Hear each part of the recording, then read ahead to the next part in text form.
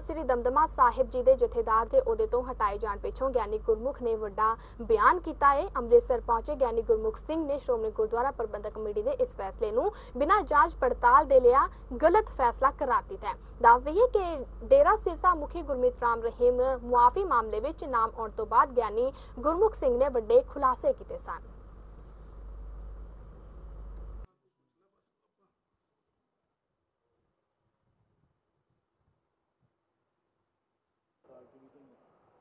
ਤੁਹਾਨੂੰ ਪਤਾ ਹੈ ਕਿ ਡੇਢ ਸਾਲ ਤੋਂ ਲੈ ਕੇ ਮੇਰੇ ਪ੍ਰਤੀ ਸਮੁੱਚੇ ਪੰਥ ਵਿੱਚ ਇਹ ਗੱਲ ਉਡਾਈ ਜਾ ਰਹੀ ਸੀ ਕਿ ਅਕਸ਼ੇ ਕੁਮਾਰ ਦੀ ਕੋਠੀ ਵਿੱਚੋਂ ਨਖੱਟੂ ਸਰਸੇ ਵਾਲੇ ਦੀ ਚਿੱਠੀ ਇਹ ਜਹਾਜ਼ ਤੇ ਜਾ ਕੇ ਲੈ ਕੇ ਆਏ।